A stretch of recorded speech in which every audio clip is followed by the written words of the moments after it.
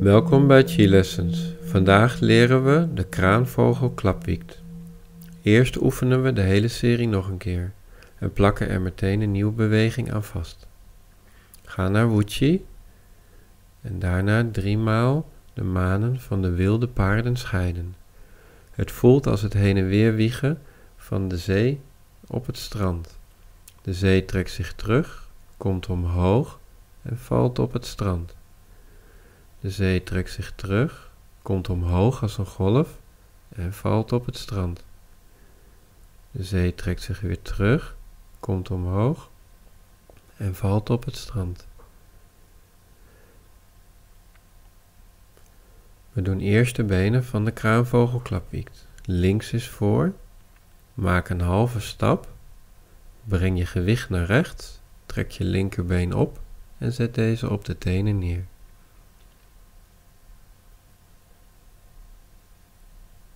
Adem in als je omhoog komt en adem uit als je naar beneden gaat. Halve stap. Trek links op tot buikhoogte en zet hem zachtjes neer. We nemen de armen erbij. Begin met links voor. Rechts schep nu een bal Heb nu een bal en breng deze tot aan de elleboog van de linkerarm.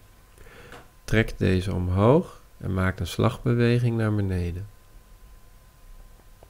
Het lijkt alsof de bal uit de linkerarm getrokken wordt.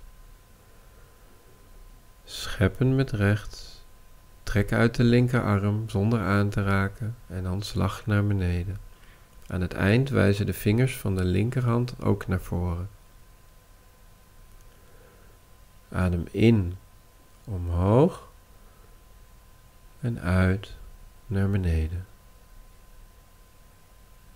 We doen de hele serie nog een keer.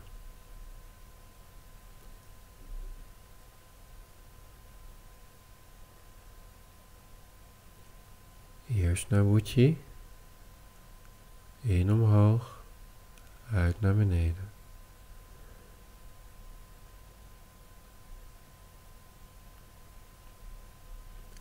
Driemaal de manen van de wilde paarden scheiden. Dat was nummer 2. In omhoog. Uitstrekken. De kraanvogel klapwiekt. Halve stap. Omhoog. En uit naar beneden. Veel plezier met oefenen. En tot de volgende keer.